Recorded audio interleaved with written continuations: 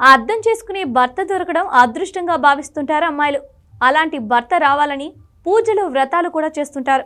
మంచి భర్త దొరికితే ఇక జీవితానికి అది చాలు అన్నట్టు ఎంతో అదృష్టంగా ఫీల్ అవుతుంటారు. కానీ కొందరు ఆ అదృష్టానికి శాపంగా మారుతున్నారు. పెళ్ళి అంటేనే అబ్బాయిలు భయపడేలా చేస్తున్నారు. భర్త ఉండగానే మరొకరి మోజులో పడి జీవితాలను నాశనం చేస్తున్నారు. కొంతకాలం క్రితం ఒక వ్యక్తి తన భార్యను కష్టపడి చదివించి సబ్ డివిజనల్ మెజిస్ట్రీని చేశాడు. కానీ ఆ భార్య మాత్రం ఉద్యోగం వచ్చిన తర్వాత తన కొలిక్తో వివాహేతర సంబంధం పెట్టుకొని భర్తను వదిలేసింది. అక్కడితో చాలదన్నట్టు కట్నం కోసం వేధిస్తున్నాడట్టు జైలుకు కూడా పంపించింది. అచ్చు అలాంటి ఘటనే ఇప్పుడు జార్ఖండ్లో కూడా జరిగింది. టింకు అనే అబ్బాయికి ప్రియా అనే అమ్మాయితో రెండు వేల ఇరవైలో పెళ్ళి జరిగింది. ప్రియాకు నర్సింగ్ చేయాలని ఆశ. భార్య కోరిక నెరవేర్చేందుకు టింకు ప్రియాను నర్సింగ్లో జాయిన్ చేశాడు. రాత్రి పగుళ్ళు పిజ్జా డెలివరీ చేస్తూ ప్రైవేట్ హాస్టల్లో భార్యను ఉంచి చదివించేవాడు. కానీ ప్రియా మాత్రం టింకును మోసం చేసింది.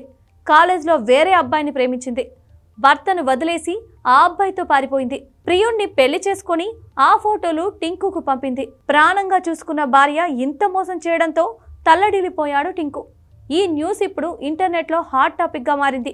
ఇలాంటివి విన్నప్పుడే పెళ్ళి పెటాకులు మానేసి సన్యాసం తీసుకోవడం బెటర్ అనిపిస్తుందంటూ కామెంట్లు పెడుతున్నారు నెటిజన్లు.